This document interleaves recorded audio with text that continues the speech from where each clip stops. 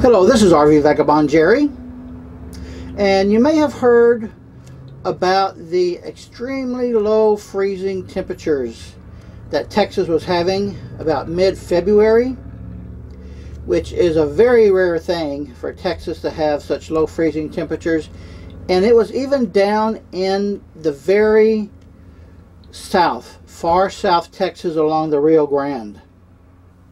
And in this video, I'm going to tell you what my experience was with those low temperatures, it was definitely a big problem for me. Now, in my last video that I did at the Kickapoo Lucky Eagle Casino, which is just uh, a few miles outside of the fairly small town of Eagle Pass, Texas, I was staying in the RV park that I showed you in that video. That is part of the casino in the casino's parking lot.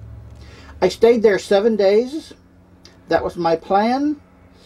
And for the first couple days that I was there, it was very warm. I had to use my air conditioner during the day in the RV park. Had full hookups there. That was just the first two days, and then it started to get much colder. And the last full day I was there was on a Monday. And on the Sunday, just before that, the electricity started going in and out about every hour or so late in the day on the Sunday. And then when I woke up Monday morning, the electricity was completely out. And it was out all day Monday. What that means is I could not rely on electricity for heating of my motorhome now I do have a very good propane furnace. Works very well. It actually looks, works a lot better than the electric heating that I have. I have a heat pump, which is really my only electric heater that's built into the motorhome.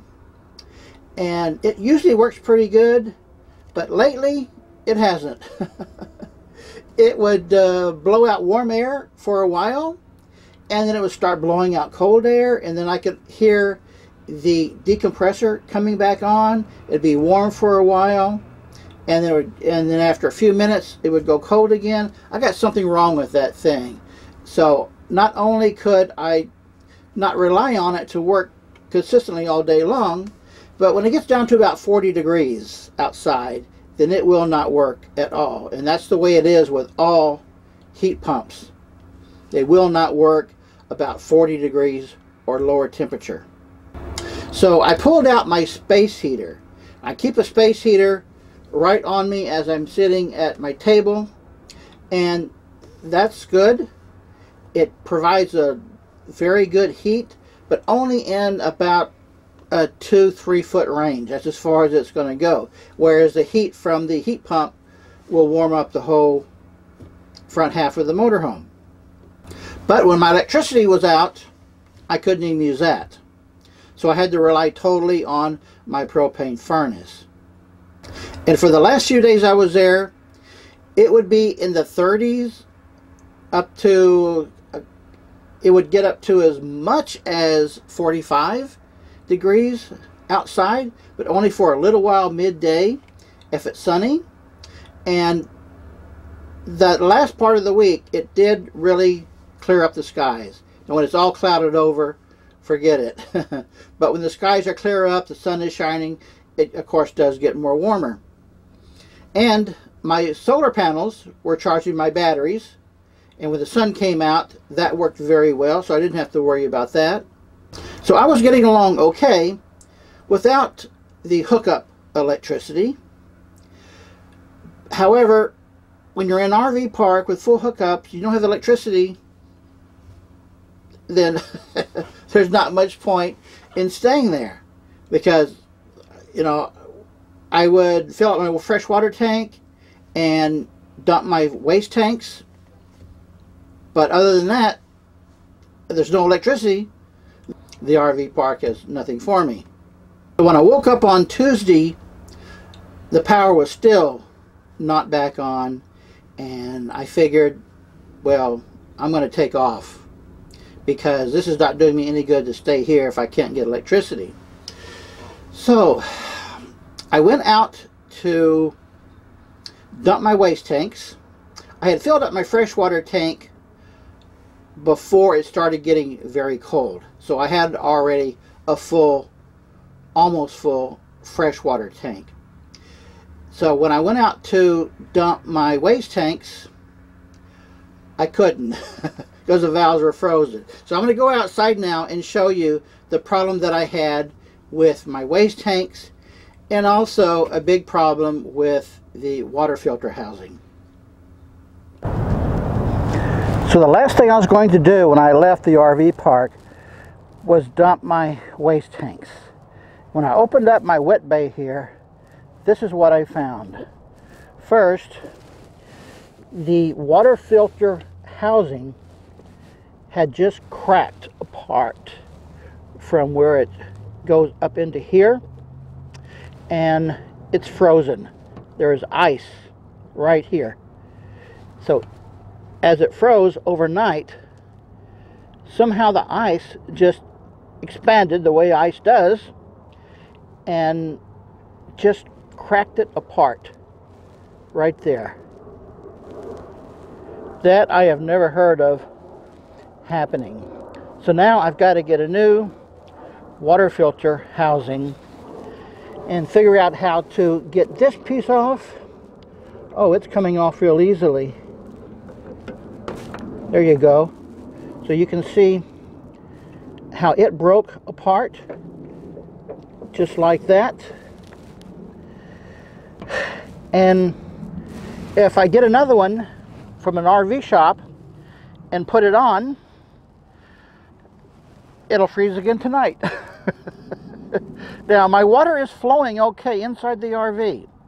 So I'm not sure just how the water flows through there affects everything. I thought the water had to go through there, which would mean that my whole wet bay would be totally flooded, and it's not.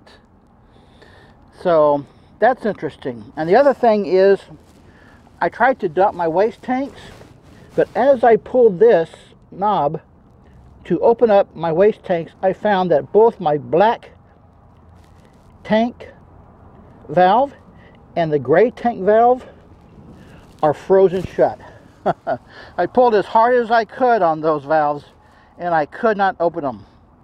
So I had to leave the RV park without dumping my waste tanks and they are almost full. I can't tell just how full they are but it's now been over two weeks since I've dumped my waste tanks. So they are pretty close to getting really actually full. However, when I turn my water pump on, it does start running just with the pump being turned on. So I've opened there so it can leak out. Now, how it didn't, all my water didn't leak out yesterday or the last couple days, I don't know with that thing off. Because I have had my water pump switch on all day long. So it could not be running all day long like that. And here you can see my water tank. The water line is up to here, so it's more than half full. So, I had to leave the RV park with my freshwater tank about maybe three-fourths full, two-thirds or three-fourths, but with my waste tanks almost full. I had not completely filled them up. I think the gray water was about 90% full or 95%. I knew at some point especially if I took another shower, that that would really fill it up. And the black tank, I have never had a problem with filling up the black tank.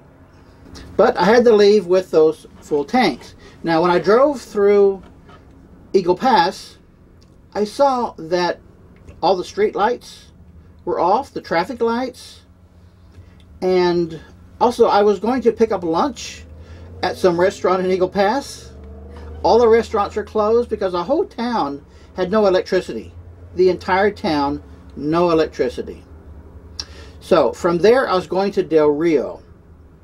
And Del Rio is about an hour's drive from Eagle Pass, and I figured I would stay in the at the Walmart there, most likely. There's also an Elks Lodge there, but if they don't have electricity, then there wouldn't be any point in staying there. So when I got to Del Rio, driving through town, I saw that Del Rio, which is several times larger than El Paso, they didn't have electricity either. Restaurants are closed, the street lights are completely off, or some of them just had a flashing red light. But you know what? This is funny. The Church's Chicken Place in Eagle Pass was open with a long, long line of cars to go through the drive-through. and when I got to Del Rio, I saw that the Church's Chickens here, which I think I saw two, at least two, maybe three of them, they all had a long line of cars, while no other restaurants had any cars there. You could tell the restaurants were closed, but apparently Church's Chickens had the forethought to get generators so in the case of a power outage, they could do a lot of business while all the other restaurants are shut down. Now, in case you don't know, the reason why the power outage covered such a wide area in Texas is because Texas relies on windmills to generate electricity, even for some of the larger cities. I heard it's about 25% of the electricity for cities in Texas are generated by windmills. Well, the windmills froze up. you get you get rain and or snow that causes moisture and it freezes up and it shuts down the windmills. They freeze up just like any other equipment. And by the way, on Sunday night at the RV park at Kickapoo, it snowed. And when I woke up Monday morning, there was about three to four inches of snow coverage on the grounds everywhere, as far as I could see. Even across the Rio Grande into Mexico, they had snow over there. So now I'm going to go back outside and show you what I found at Walmart in Del Rio. So I went up to the entrance there and asked the man, there's a man standing there, someone to greet people. And I went up to him and he said that the store's not open today, there is no power. However, they are expecting the store to open up tomorrow. And he told me that half of the city of Del Rio has power back on and the other half of the city doesn't and they're expecting or at least hoping that tomorrow the whole city will have power again and he said they are expecting to open up tomorrow. By the way this Walmart store in Del Rio is my favorite Walmart to boondock at because on the side of the store here they have these really long parking stalls long enough for two, at least, maybe three RVs. And at the front and back of each one of these long parking stalls, they have painted on the concrete, or actually asphalt here, you can see it says RV park only. And this is the only Walmart I've seen anywhere that actually has RV park only painted on parking stalls and has parking stalls specifically for RVs with the really long lengths, actually much longer than they need to be. So this is about as welcoming as you're going to get from a Walmart. Now I got through this whole situation fairly well because my motorhome is completely self-sustaining. However, it doesn't take kindly to freezing temperatures.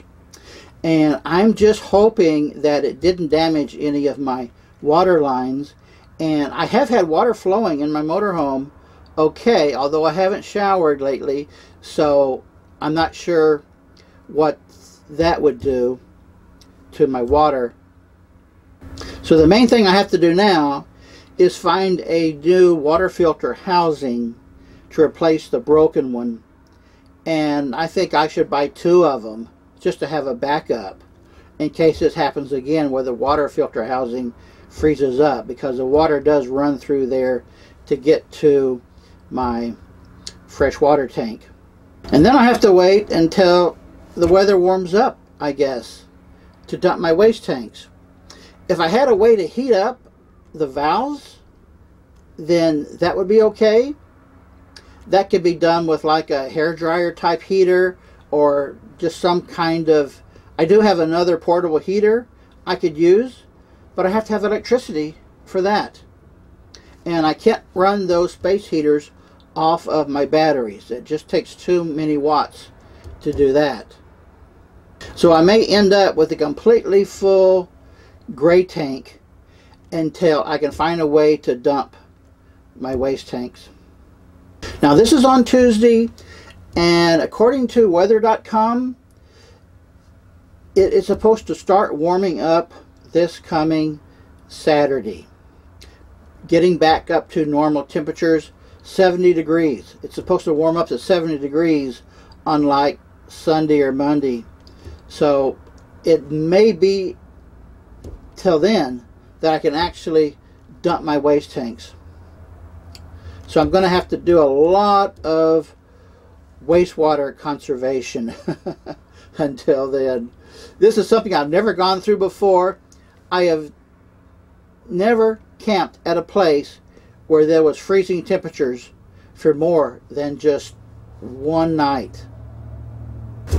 And here it's several nights in a row that it's getting into the low 20s overnight. And then even during the day, some of the days it doesn't even get up to 40.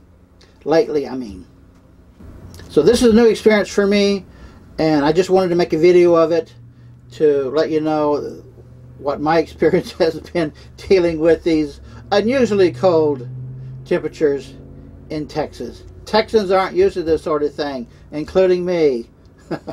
Good day, folks.